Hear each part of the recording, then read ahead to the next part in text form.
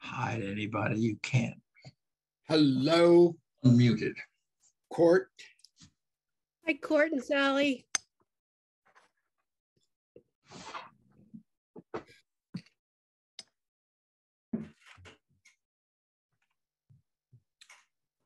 Hello, Alan. Hello, Jim.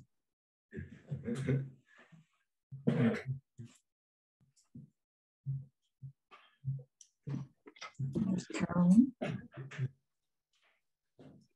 I thought that was a very good class. I appreciated your comments, James.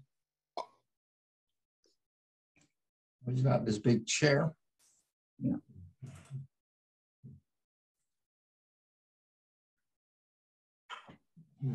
It's gonna clear. I think it's gonna clear. I think we've come a long way as far as being willing to talk about dying and death are concern is concerned. Uh, when Elizabeth Kubler-Ross began publishing her, I kept Pioneering. thinking about that.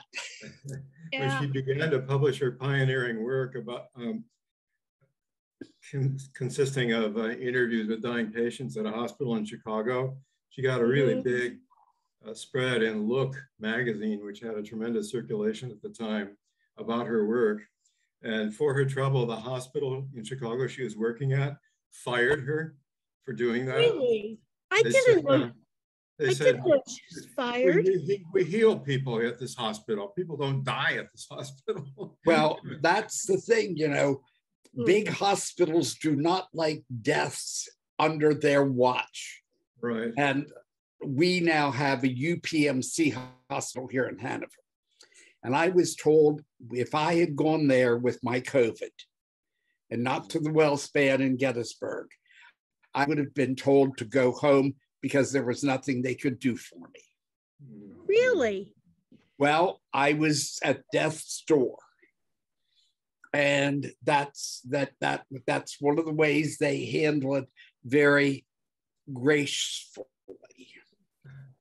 You weren't at death's door because you lived. Jim, I knew you were very ill, but I had no idea that it was that, that you were that close. Oh, they called my daughter and my power attorney the Sunday after.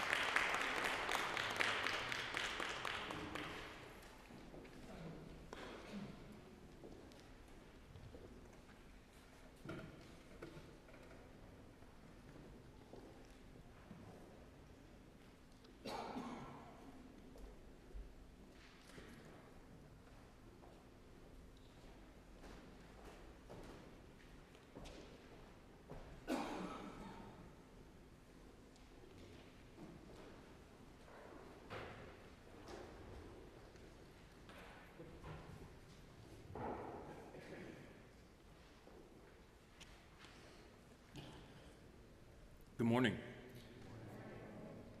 Our help is in the name of the Lord, who made heaven and earth. Let us rise in body or in spirit and worship God together using the call to worship. Jesus went to the mountaintop to pray. Jesus went into the city to heal. Jesus walked to Samaria to extend love. Jesus went to the water's edge to teach. Jesus went to places of peace and connection. But Jesus also went to the wilderness. There is nowhere we can go that God does not walk with us.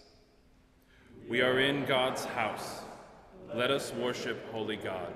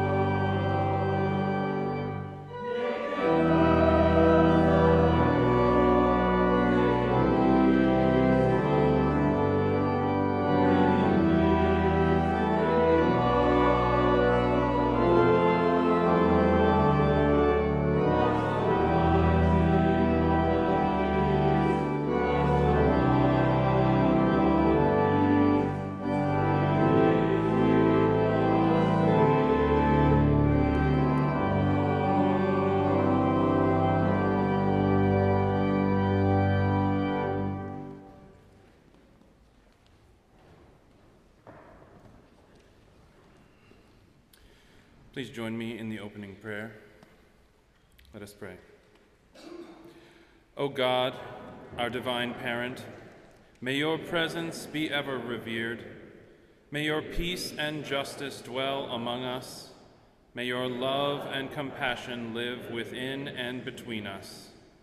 Nourish us daily with the necessities of life sustenance for our bodies, and inspiration for our spirits.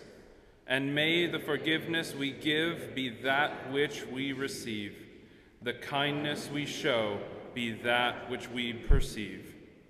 Lead us on virtuous paths and distance us from evil.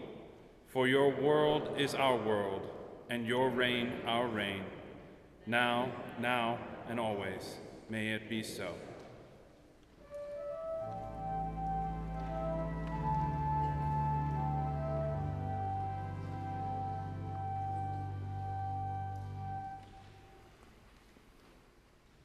Friends, we worship a God who doesn't keep score and who doesn't hold grudges. We worship a God who invites us into a richer faith, a deeper love, a more compassionate existence with a million chances to try again. So let us speak truth into our lives, asking for God's help where we need it. Let us pray the prayer of confession together. Holy God, when we think that expansive life is about power. Teach us a new way. Gracious Creator, when we think that expansive life is about material wealth, teach us a new way. Gracious Author, when we think that expansive life is about control, teach us a new way. Teach us to live as you live Teach us to love as you love. Forgive us when we don't. Gratefully we pray. Amen.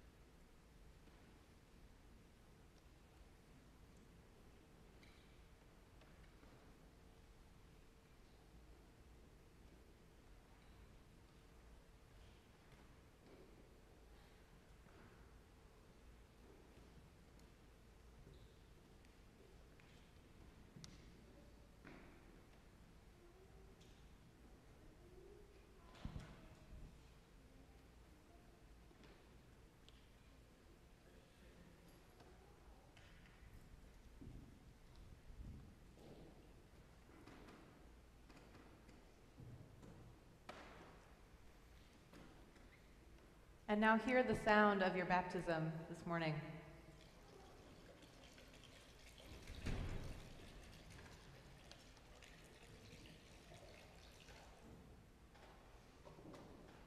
And receive these words of forgiveness for you and for me. Siblings in Christ, no matter how many times we mess up, no matter how far we wander, no matter how lost we feel, God's grace is full to the brim. It overflows in desert places, it finds us where we are, and it covers us in mercy. Speak and believe this good news with me. God's love is overflowing. We are drenched in mercy. Thanks be to God. Amen.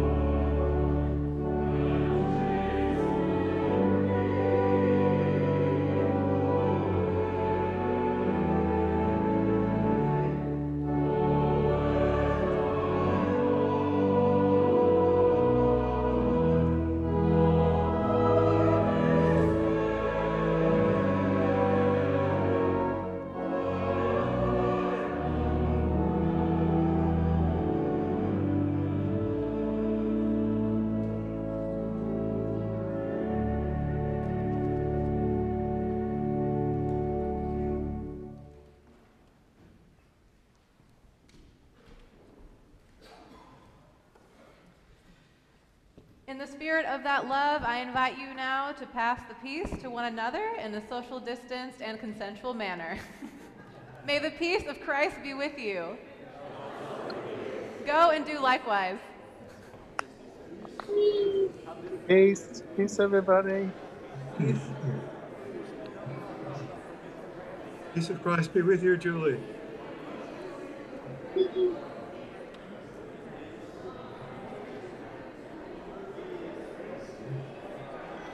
Peace to all of you on phones and other devices. With you, Eldon. John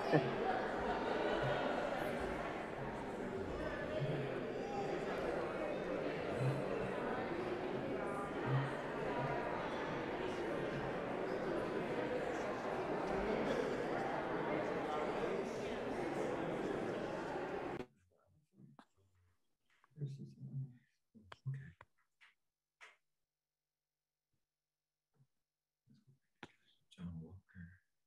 See, I did see him during a little bit. Here's Anne. But she's muted there.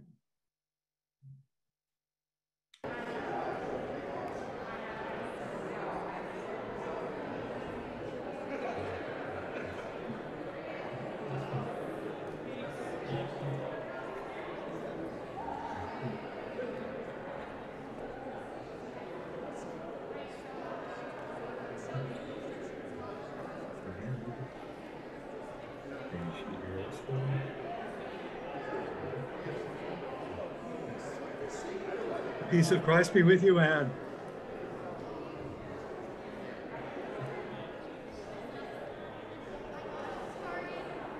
Peace be with you, Carly.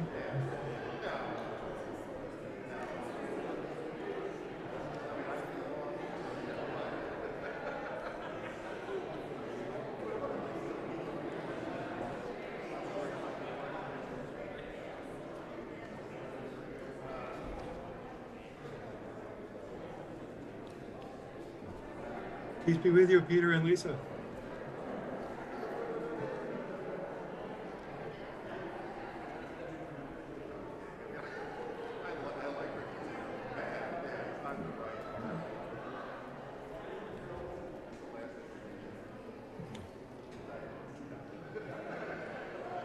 Peace of Christ be with you, John. Fine, that's fine. And also to you, Al and Helen.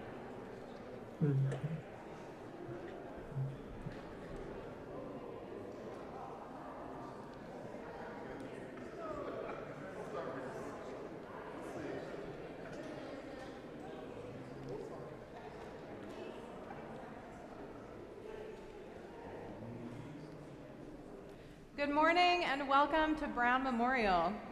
My name is Michelle, and I'm so glad that you're here worshiping with us this morning. We are worshiping in a hybrid fashion, and you will be muted on Zoom unless we're doing the Lord's Prayer or during the fellowship time after the service. So if you're visiting today, either in person or on Zoom, please let us know you're here, either by introducing yourself in the chat on Zoom or introducing yourself to someone here in the space. To stay informed about everything that's happening at Brown, I encourage you to review the announcements and the prayers found at the back of your bulletin using the link provided in the chat or your physical copy of your bulletin here in the sanctuary. There are a few items I'd like to draw your attention to that are happening in the next week. I wanted to remind you that the All Church Retreat registrations are still being taken, so don't miss out on this weekend of reconnection and fun and fellowship. It's, it is the first weekend of April, April 1st through 3rd, and the cost is only $30 per person. You can use the link in your chat window to register, or you can contact a member of the ministry staff, and we will get you all set up. Lent officially began this week on Ash Wednesday, and we will continue with the Vespers service we did last year at 7 p.m. throughout the season of Lent. So please look on the church calendar for the Zoom link for that. That Vesper service will be entirely virtual.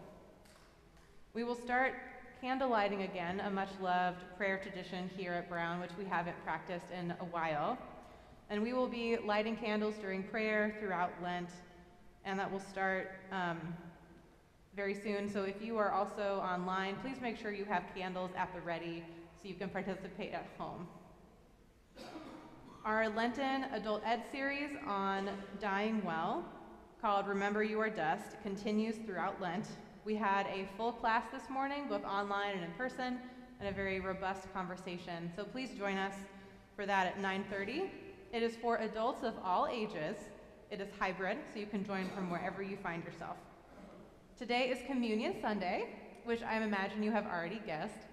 But if you need to grab your elements, now is a great time to do so at home.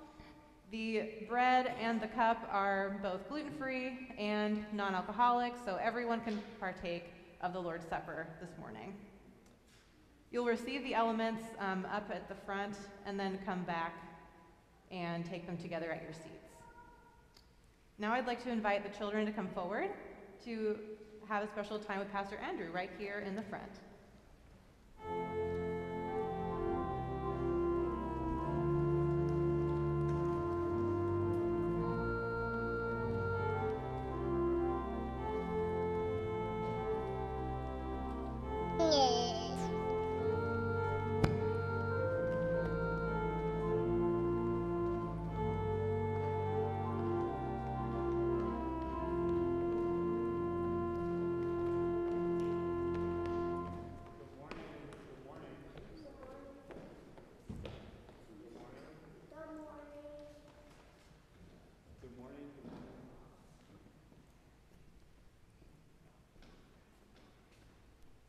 Are these working?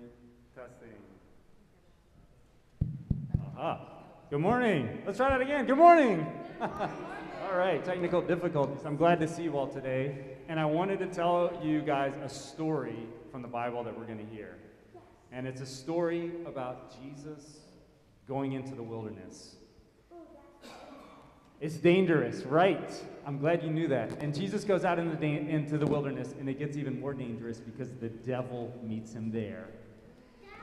The devil, yeah, the devil tempts him. He tempts him in three ways. The devil says, um, Jesus, I know you're really hungry, so why don't you take this stone and turn it into bread? Use your power and turn it into bread. And Jesus says, No, the Bible says that we shouldn't live just just by bread. So I'm not going to use my power to do that because he knew that his power was for more than just magic tricks. So then, after that, the devil took him up to like a big hill where he could look out on all the different cities and the kingdoms.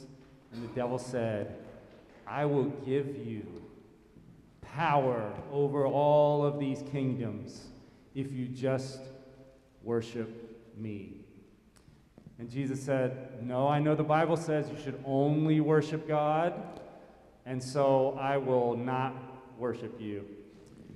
So the devil said, Darn, okay. So the devil then took him up to the top of a tall building and said, I know you're really brave, Jesus. I dare you.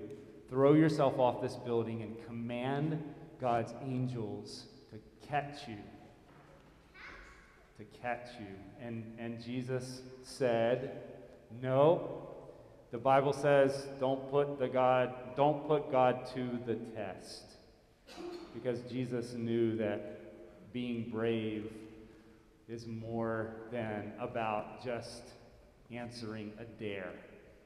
So I have a question for you all this morning and to think about at home this morning. Which which of the three temptations do you think uh, was hardest for Jesus to say no to? Was it turning the stone into bread? Was it saying that I won't take all the power to have power over all these kingdoms? Or was it the dare, saying no to the dare? Which, so if you think it was um, the stone to bread, raise your hand. Does someone want to tell me why they think? There are a lot of people who think the stone to bread. Okay.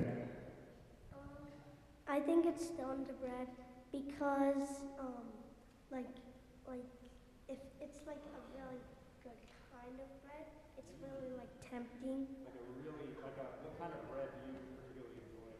Like, um, white bread. White bread. so it feels like a really like fluffy white bread. Woo, yeah, I agree. Okay, other other thoughts?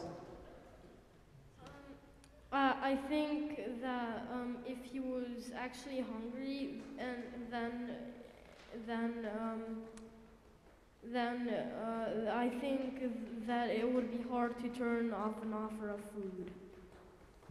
Right. It would be hard to turn down an offer of food if you're actually like really hungry, right? Those other things kind of seem a little extra, maybe, but but not the food, right? Okay. Raise your hand if you think that the hardest thing to turn down would have been power over all the kingdoms. power over all the kingdoms. Do, who wants to share? You want to share? Um, I think that um, it might be, well, it might be kind of tempting for some people because some people really love power and they want to um, have power over everybody, but maybe not Jesus. Some people really love having power. Wow, that was that was so prophetic. Okay, here we go. The What do you think? Why was that so hard? The bread turned into stone white.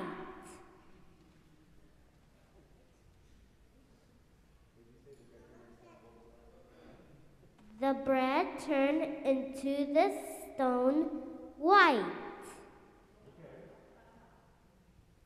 Interesting. All right. And which of you think that the last um, throwing himself off the building as a dare, which of you think that was the hardest to resist? Rowan, you think that was the hardest? Do you have thoughts about that? Do you know why? No, you don't want to share? Okay, that's fine. Yeah, that's good. So, so um, you're thinking that that was the hardest one. All right. Do you have something you want to say about that one? And it's kind of tempting because, like, Someone dares you to do something. yeah, and like, yeah, and like, like he said, like the angel would catch him, but I, I, I think like um that um like in the Bible it said that that don't um like trust God to do things for you, and um that's why. Right? Said, don't put God to the test, right? So I love your thoughts and ideas. And what I love about this story is that Jesus is able to make good choices. And sometimes I think that's some of the hardest part of living, right? Um, sometimes we are tempted with um, maybe not so much food sometimes, although sometimes maybe with food, but I think sometimes we're tempted with power, or maybe we're tempted to take on a dare, right? Or maybe we're tempted to make a choice that we know isn't going to be pleasing to ourselves or to God. And Jesus shows us that it's possible to make good choices. So I hope you will think about those choices for you this week. You probably have to make hundreds of choices every week. You may not even be aware of it. So I hope that you'll think about the choices that you make this week and um, know that God is always with you in your decision making. All right, I'm going to say a prayer. Um, this will be a repeat after me prayer. So please repeat after me. Loving God, thank you for your promise always to be with us. Help us make good choices. Amen. Thank you all for your thoughts this morning. You can go back or with Rachel.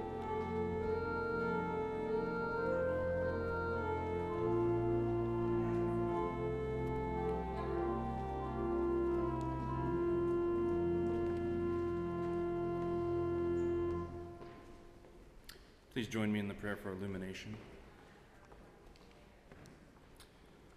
God of the wilderness places in our lives, it can be hard to hear you in the desert.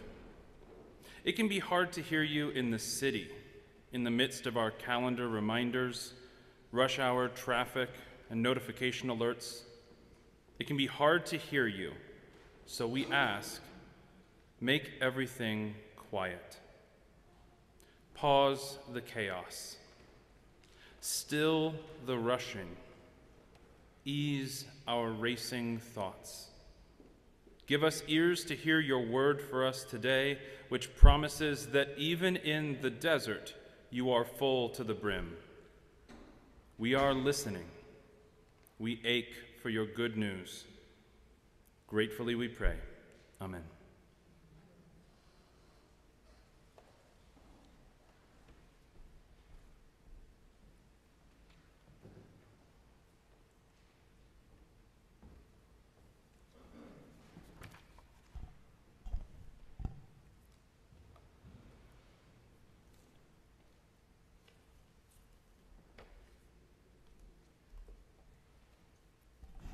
As you know by now, the scripture reading today comes from the Gospel of Luke.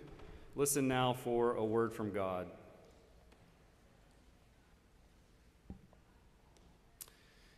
Jesus, full of the Holy Spirit, returned from the Jordan and was led by the Spirit in the wilderness, where for 40 days he was tempted by the devil. He ate nothing at all during those days, and when they were over, he was famished. The devil said to him, If you are the Son of God, command this stone to become a loaf of bread. Jesus answered him, It is written, one does not live by bread alone. Then the devil led him up and showed him in an instant all the kingdoms of the world. And the devil said to him, To you I will give their glory and all this authority, for it has been given over to me, and I give it to anyone I please. If you then will worship me, it will all be yours.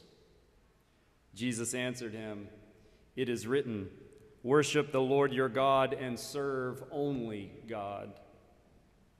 Then the devil took him to Jerusalem and placed him on the pinnacle of the temple, saying to him, If you are the Son of God, throw yourself down from here, for it is written, The Lord will command the angels concerning you to protect you. And on their hands they will bear you up, so that you do not dash your foot against a stone. Jesus answered him, It is said, Do not put the Lord your God to the test. When the devil had finished every test, the devil departed from him until an opportune time. Hear what the Spirit is saying to the church. Thanks be to God. Please pray with me.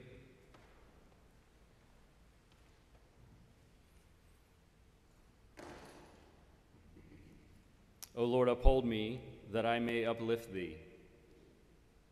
Amen. Jesus didn't even want to be in the desert. The Spirit led him there. This wasn't his idea, this wasn't his chosen fast. Few people choose the desert if they have a choice. Certainly not someone who spends most of his time around waters and fish and fields. In the desert, there is no thundering voice of God announcing your belovedness, no reinforcing words of pride to make you feel valuable and chosen. In the desert, Jesus knew he was alone and in need, led into the desert by a spirit only recently descended into his life according to Luke's gospel. And the devil came to him. Not the little horn man in the red Halloween suit, in my mind, but the word we use to describe the way evil so often seems to be directed with purpose. Evil with purpose that seems to compete for our allegiance, the sort of evil that leads a man to dream up a pointless war in Ukraine and enables a military to unleash the hell that war creates. The sort of evil that led to slavery and still holds the hearts of many of us captive, oppressing generations of people of color here and around the globe the sort of evil that carved up our neighborhoods by race and income years ago and still keeps hurting and dividing us. The devil came to Jesus because Jesus showed such obvious need. It seems that corrupt power often seeks out places of legitimate need. Corrupt power corrupts our desires, refashions it toward its own malevolent purposes. In the wilderness, Jesus was as needy as ever.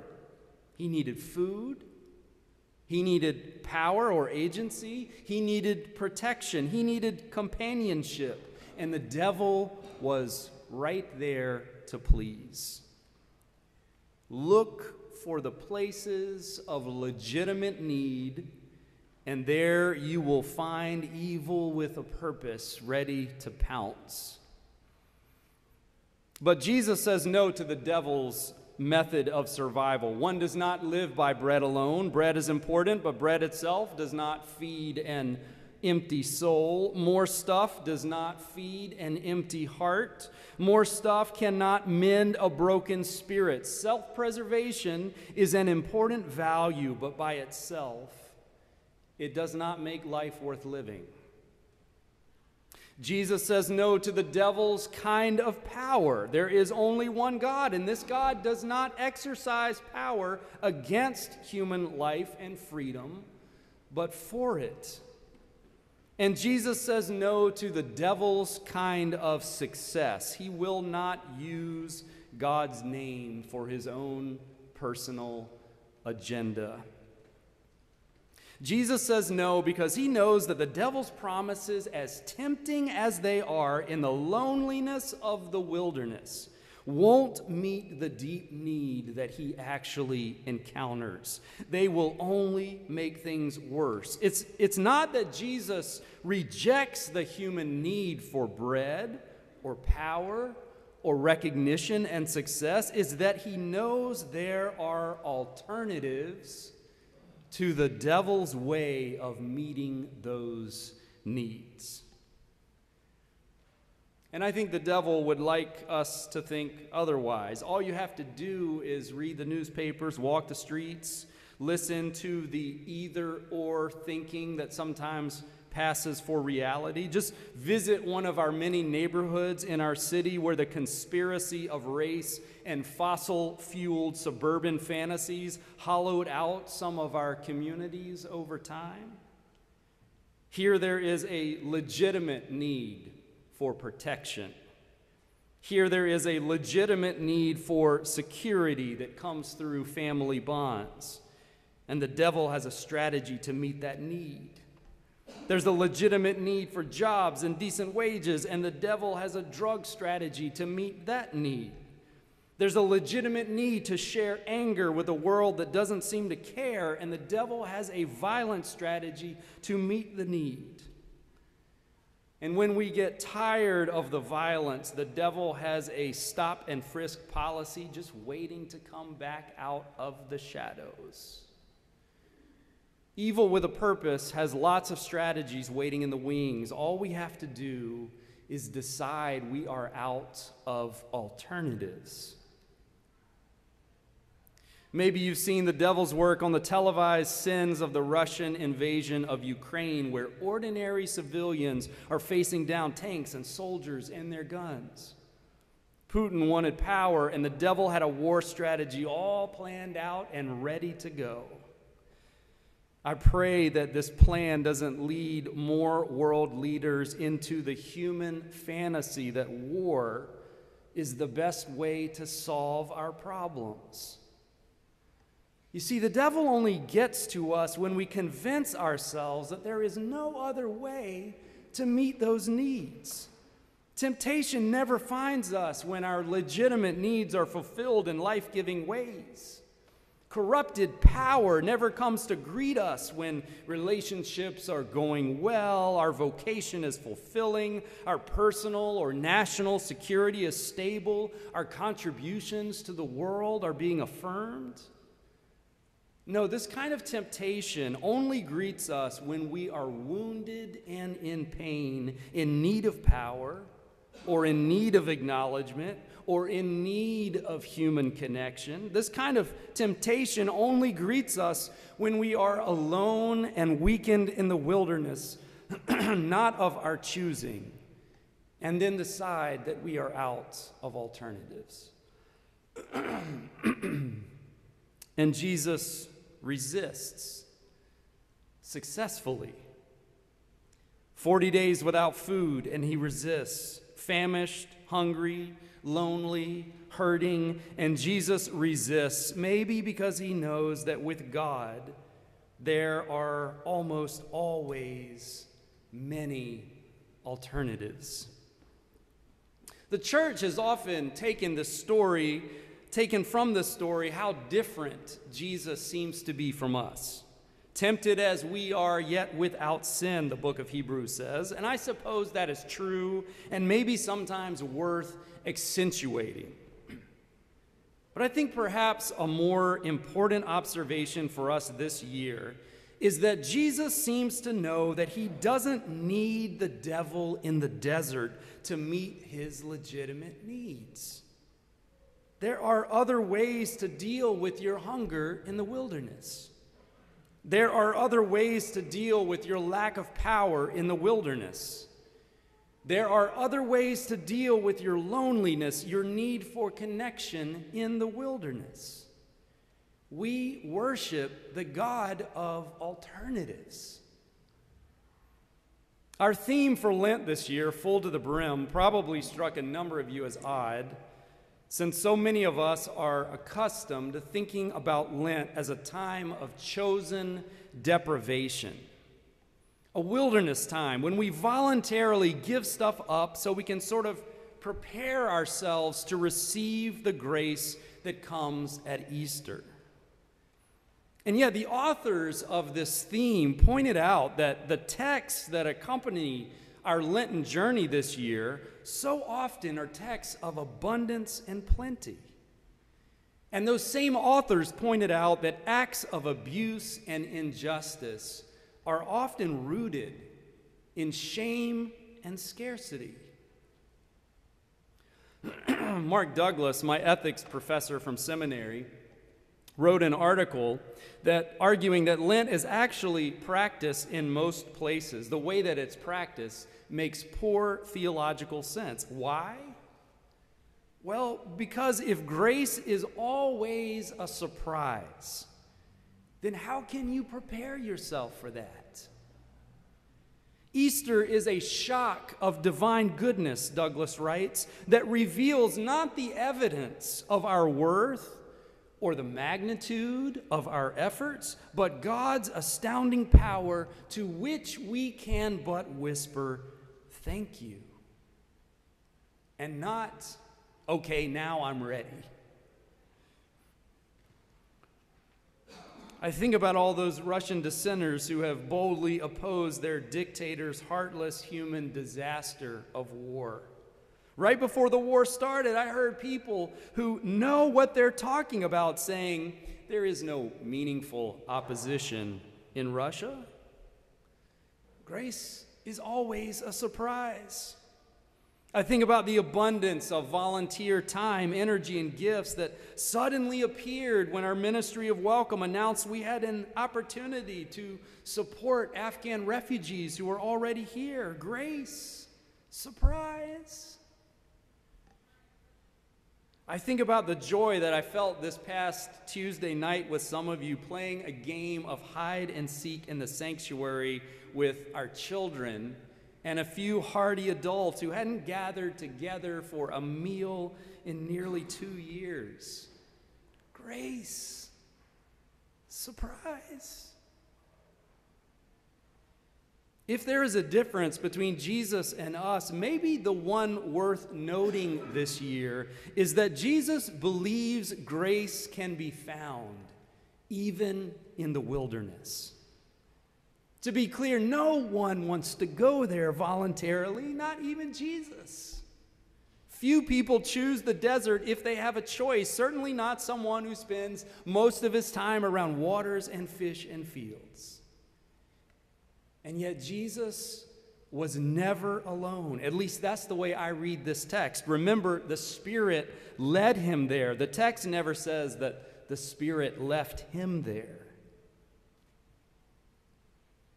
People sometimes ask me, How is it that you seem to maintain hope with the world as it is, with COVID as it is, with the racial injustice in our country as it is, and the planet pushed to unprecedented levels, all by people grasping for power that isn't theirs to own? How do you maintain hope? When the city can't get itself together or the violence goes on and on unabated? I've thought a lot about this question because I honestly don't really know. All my rational answers don't make sense at the end of the day. I feel as cynical and out of steam sometimes as anyone. But if I'm pushed to acknowledge what is actually going on inside of me, it is the real sense that I am never quite alone.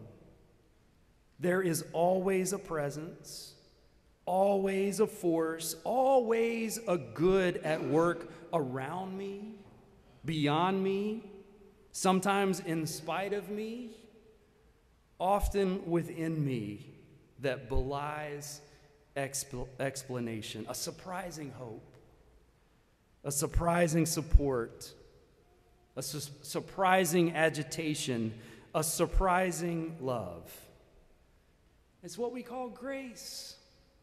It's not of my doing, it's not of my believing, it is not of my preparation. It simply is. I hope you are able to feel it too.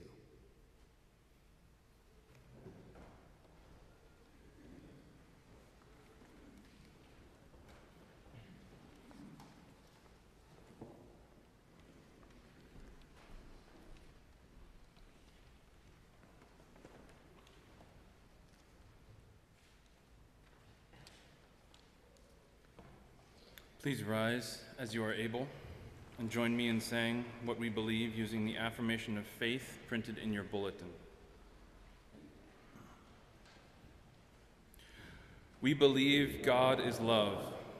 We believe God's love is overflowing. We believe Jesus is a river.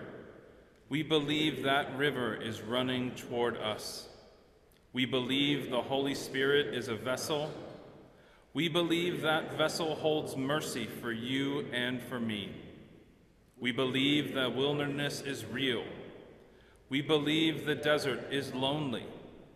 We believe that Jesus has been there. We know that we do not walk alone. Even in the desert, we are loved. Even in the desert, God is with us. Even in the desert, this love overflows. Thanks be to God. Amen.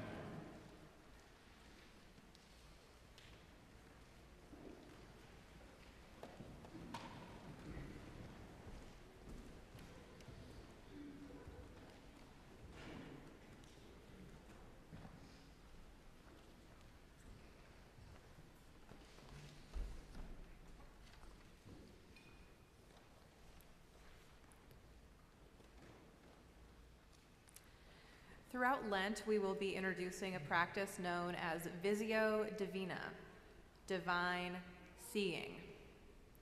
Similar to Lectio Divina, Visio Divina invites you to meditate on a visual object to see how God might be speaking to you through it. Each Sunday in Lent, the bulletin cover will feature a piece of art to use for this practice. Today's work by Caravaggio from 1607 is entitled The Seven Works of Mercy. This piece of art illustrates the words to the offertory anthem and the litany of confession and the words of forgiveness. As you listen to the anthem, we encourage you to try this practice today. You can also find a more detailed guide to this practice in the bulletin insert. And now receive this call to commitment. The grace that God offers us is always a surprise. The grace that we offer each other is a surprise. But what's not a surprise is that that grace is always there waiting for us. So, in this time of generosity, may you be surprised by the way God's grace meets you and those around us. Amen.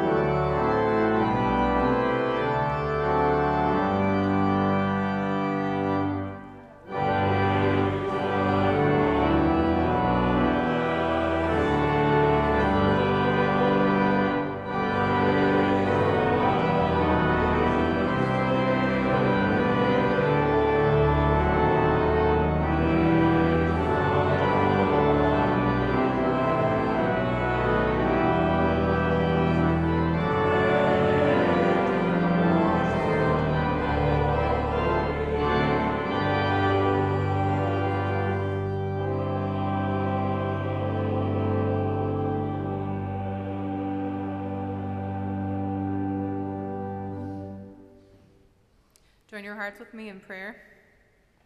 Holy God, we thank you for the gifts of surprises. We thank you for the grace that meets us here. May the gifts that we give today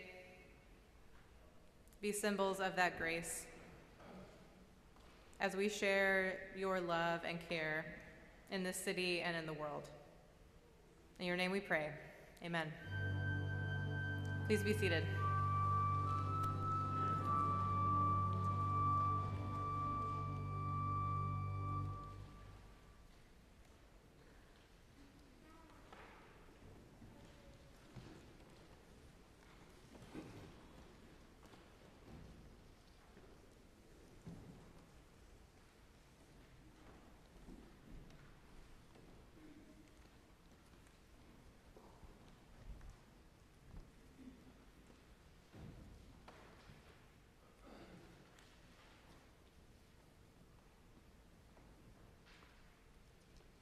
Jesus has always been the one to invite.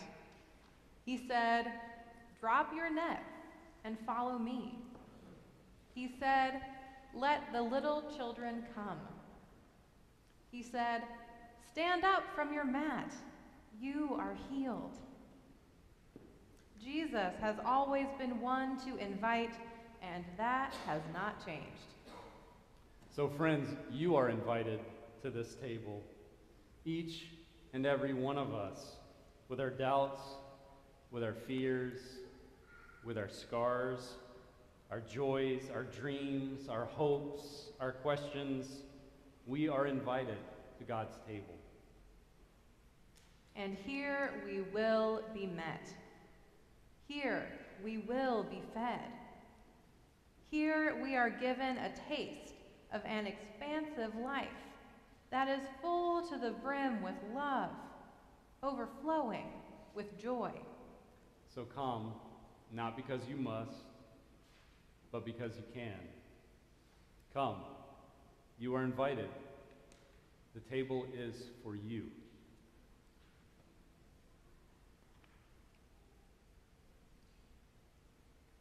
Please join me now in the prayer of thanksgiving. The Lord be with you. And also with you. Lift up your hearts. We lift them to the Lord. It is right to give our thanks and praise. God who knows us, we are amazed by you. Your love never runs out, your hope never runs dry, your joy never gives up. We wish that we could be more like you in that way. In a world that loves scarcity, your abundance is shocking. In a world that knows fear, your joy is compelling. In a world that knows anxiety, your peace is captivating. We long for these things. So today we ask you be with us on the hamster wheel. Be with us when compassion fatigue rears her head. Be with us when stress makes it hard to breathe. Be with us when self doubt pushes in close. Be with us when exhaustion becomes constant or when loneliness becomes our primary language. Be with us and show us the way to the life you long for us. Show us a life of expansive faith. Show us a life of overflowing joy. Show us a life of absorbing beauty. Show us a life of engrossing purpose. So us, show us a life that is as honest and rich and meaningful as the one Jesus led. And until that expansive and holy day, we will continue to gather at this table. Until that day, we will continue to look for you in our midst. So pour out a double portion of yourself onto this bread and cup so that we might catch a glimpse of your goodness. God, we are amazed by you. Your love never runs out. So bring that never ending love here. Together we pray in the spirit that you taught us, saying together, Our Maker, Maker, who art in heaven, hallowed be thy name.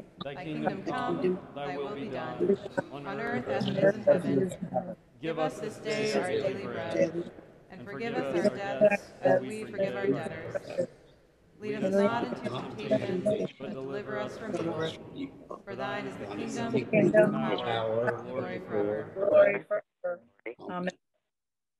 On the night of his arrest, Jesus was in a house, having dinner with his friends.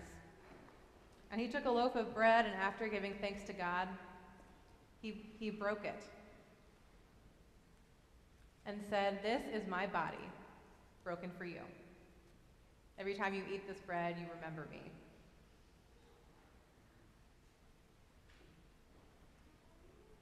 In the same way, he took the cup and he says, This is the cup of the new covenant, sealed with my blood, shed for you for the forgiveness of sins. Whenever you drink it, do this, remembering me. Friends, every time we eat this bread and we drink this cup, we proclaim the death of our risen Lord until he comes again. These are the gifts of God for the people of God.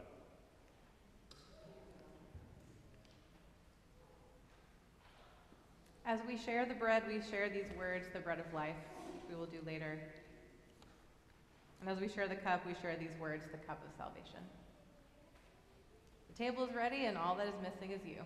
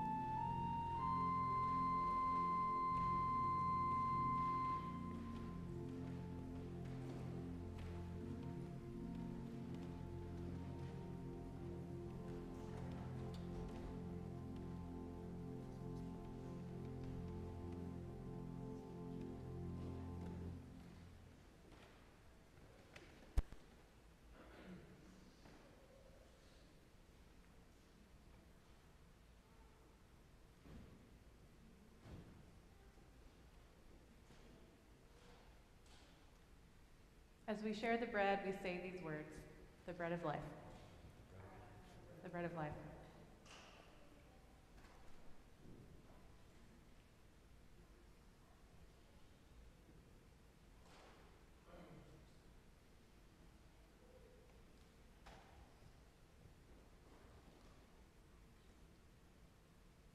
As we share the cup, we say these words the cup of salvation. The cup of salvation.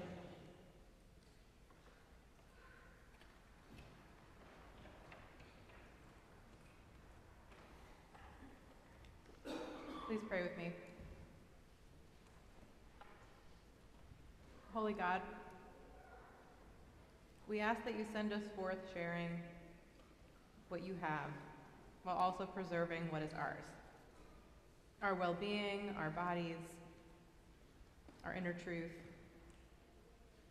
For we are at once ourselves and part of the beloved community.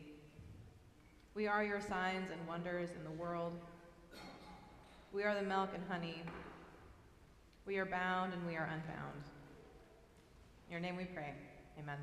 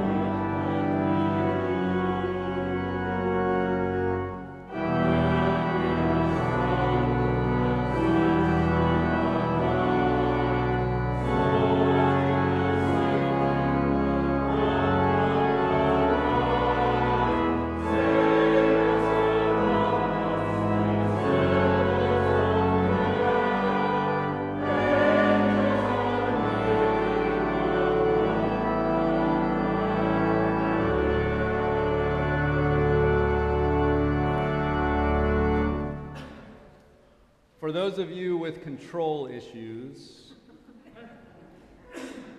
there, are a few in this congregation, myself included. Let this Lent be a time of relinquishment, of recognizing that the deepest joy of the gospel is not something that we work hard to prepare ourselves for, but it is something that we give thanks to God for the surprising presence of grace that comes, even and perhaps especially in the most parched of places in our lives. So go forth from this place, and may the grace of our Lord Jesus Christ, the love of God, and the fellowship of the Holy Spirit be with you and among you and between you this day and every day of your gifted life.